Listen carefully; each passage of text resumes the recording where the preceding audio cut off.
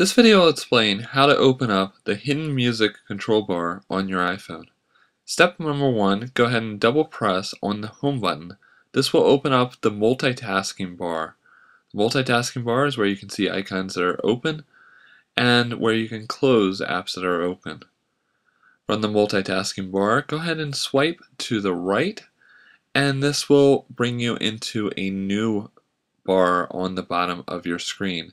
That new bar is the hidden music control. From here you can play songs and you can also change the lock um, on your device.